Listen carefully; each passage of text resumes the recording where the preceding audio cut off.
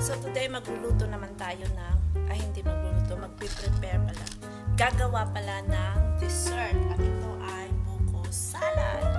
So sa buko salad, ito lang yung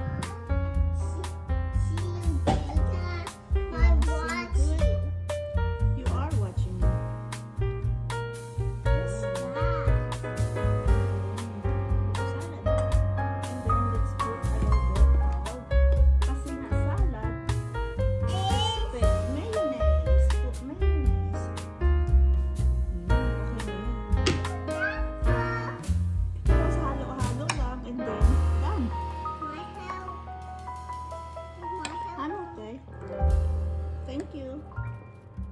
I'll let you help me eat it, okay? Mm. Ooh.